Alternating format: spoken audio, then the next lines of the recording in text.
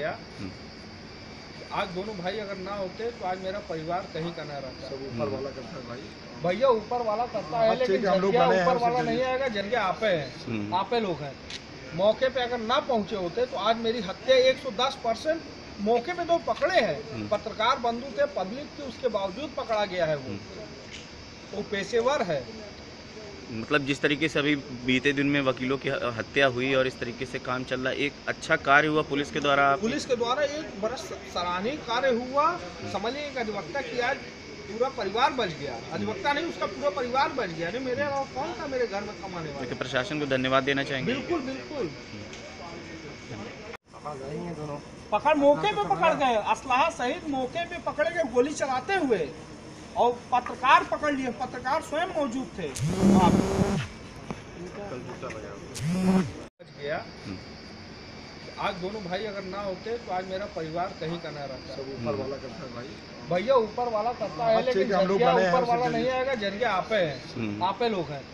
मौके पे अगर ना पहुँचे होते तो आज मेरी हत्या 110 परसेंट मौके पे तो पकड़े हैं। हम्म। पत्रकार बंधु थे पब्लिक थी उसके बावजूद पकड़ा गया है वो। वो पेशेवर है। मतलब जिस तरीके से अभी बीते दिन में वकीलों की हत्या हुई और इस तरीके से काम चल रहा है एक अच्छा कार्य हुआ पुलिस के द्वारा पुलिस के द्वारा एक बड़ा सराहनीय कार्य हुआ। समझिए एक अधिवक्ता की आज पूरा परिवार बच गया। अधिवक्ता नहीं उसका पूरा परिवार बच गया। नहीं मेरे अलावा कौन था मेरे घर में कमाने वाला? देखिए, प्रशासन को धन्यवाद देना चाहेंगे। बिल्कुल बिल्कुल।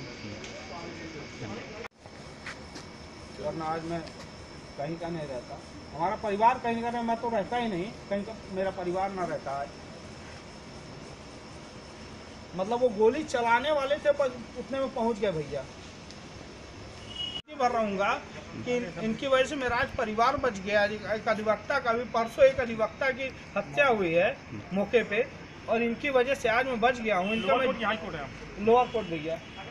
क्या बंदूक तान दिए थे वो लोग? बंदूक तान एक फायर किए हैं मैं बच गया हूँ। उसके बाद जो दूसरा फायर करने के मैं दोनों का ऐसे पकड़ा हूँ तो भैया मौके पे आ गए हैं। हम्म। दोनों मौके पे गोली चलाते हुए पकड़ लिए हैं भैया।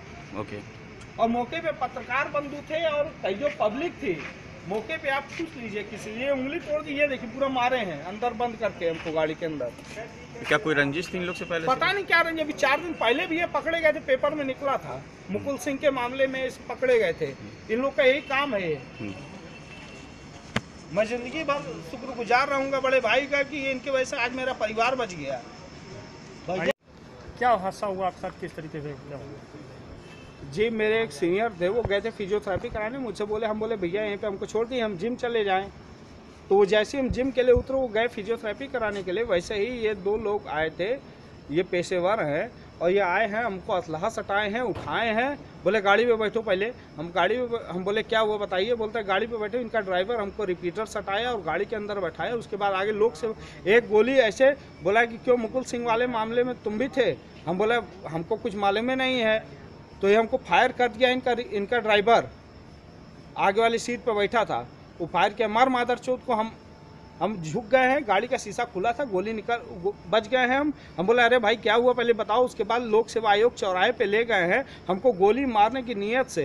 ये उतारे हैं नीचे ज़मीन पे और गोली मारने वाले तो तो हाँ ये तो हमारा सौभाग्य है कि ऐसे पुलिस अफसर हैं। जो हमको मौके पे पहुँच के लोक सेवा आयोग चौरा लोक सेवा आयोग चौराहे पे मौके पे पुलिस और रिपीटर और रिपीटर के साथ और असलहे के साथ राइफल के साथ और वो रिवाल्वर के साथ ये मौके पे मौजूद था जो गोली मारने जा रहा था। कौन लोग हैं? क्या किस तरह रितेश राय? अभिषेक। क्या कोई पुरानी रंजिश हमारी कोई रंजिश नहीं है भैया। पता नहीं क्यों हमको उठा के वो अपहरण किए हैं मारने की नीयत से। आप क्या करते हैं? हम अधिवक्ता हैं जिला न्यायालय में। उसके बाद क्या हुआ फिर? नाम तान लिया जयप्रकाश पांडे हमारा नाम है। ठीक? निवासी रसूलाबाद तिलियरगंज। ये हमको मारने की नीयत से गोली च, गोली च, चलाने वाले थे। मौके पे पत्रकार महोदय हमारे और बड़े भाई ये हैं चौकी इंचार्ज लोक सेवा आयोग इन्होंने मौके पे पहुँच के बंदूक पकड़ लिया वरना मैं आज मर जाता।